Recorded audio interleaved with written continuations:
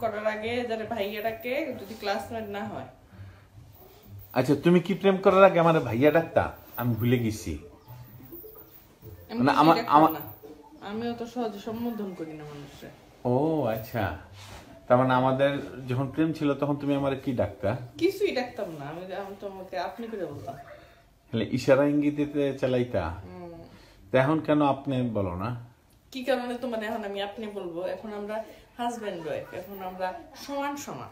আগে সমান সমান ছিলাম না। না তখন তুমি আমার বয়সে বড় ছিলা। ও তার মানে এখন আমি আমার বয়সে ছোট হয়ে গেছি। না এখন তুমি বড় হইলেও এখন তুমি আমার সমান। তার মানে কি তাহলে তুমি বুড়ি হয়ে গেছ? না।